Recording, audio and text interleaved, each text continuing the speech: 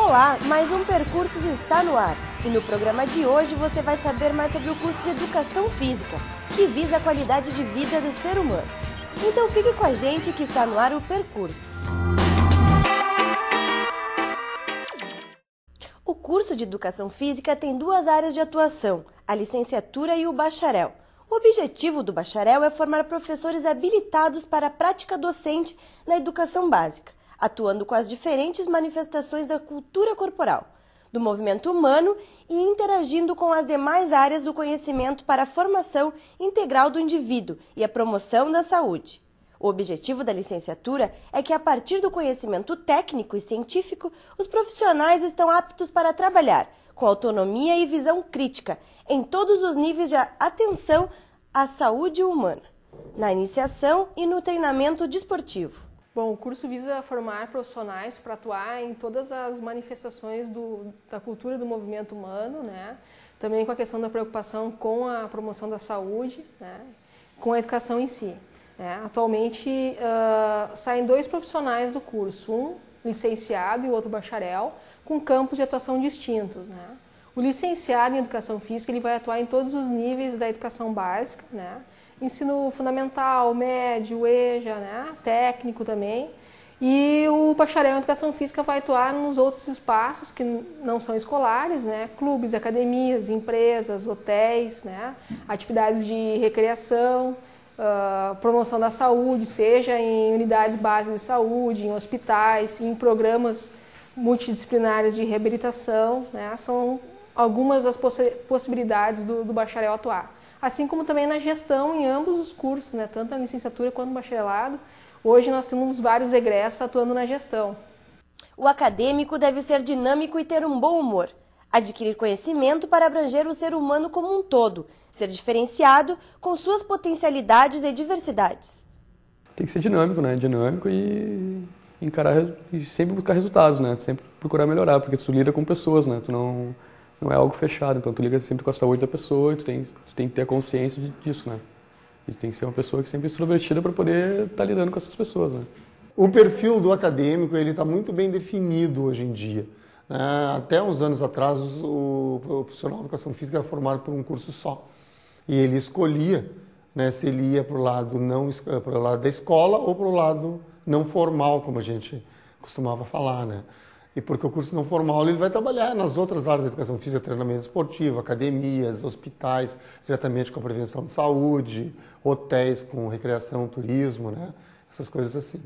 Hoje em dia não, hoje em dia o curso exige, por exemplo, da licenciatura que o aluno tenha um perfil que vá trabalhar na escola, vá trabalhar na formação do, na educação básica. Né? Esse é o perfil que tem que ter o aluno. Já o aluno que vai para o bacharelado, ele tem um, um perfil mais diferenciado porque ele não vai trabalhar na escola, ele vai trabalhar como quase um prestador de serviço. O bacharel, hoje em dia, ele é muito, eu já vejo o bacharel como um profissional liberal, né? porque ele vai estar no mercado vendendo o serviço dele né? para as pessoas que, vão, que querem comprar.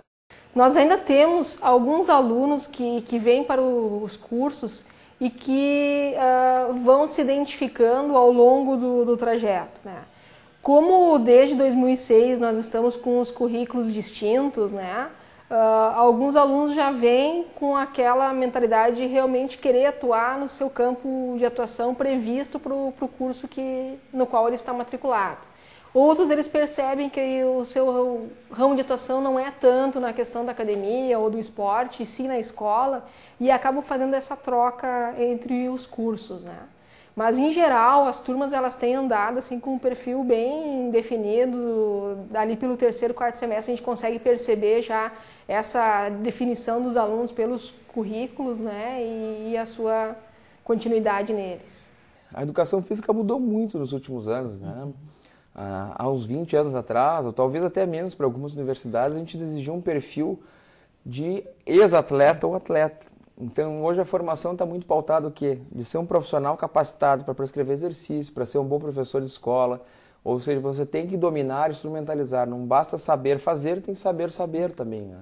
Então, tem que teorizar. A gente sempre brinca. Os alunos que vêm para a educação física e pensam que vão ficar jogando apenas na prática esportiva, movimento, acabam se dando mal nesse sentido, né? Que não é uma prática física em si, sim é um pensar sobre a prática, né? Instrumentalizar, estudar métodos de ensino e ações e estratégias para que possa atender às demandas dos sujeitos, né? Então a educação física vem mudando positivamente e a gente transforma mais, muda mais a partir do conhecimento. O curso tem duração de oito semestres. Além das disciplinas da grade curricular, o aluno pode optar pelos cursos de extensão.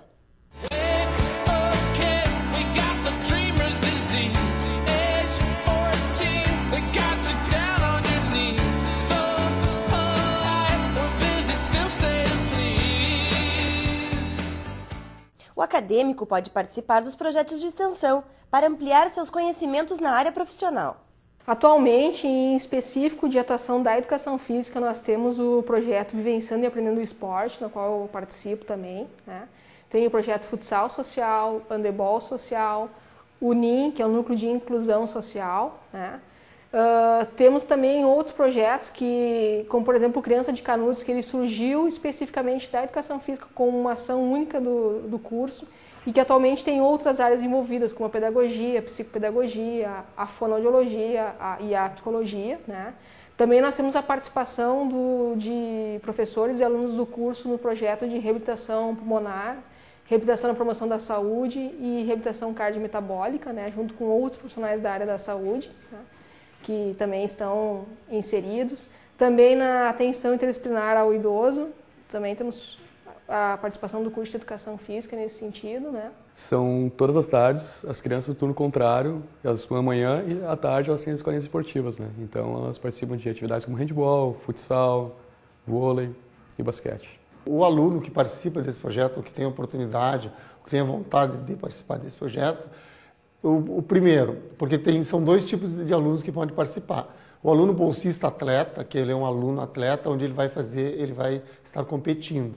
E tem o aluno bolsista monitor, que ele vai ajudar o treinador das equipes né, a treinar esses atletas, acompanhar esses atletas durante as competições.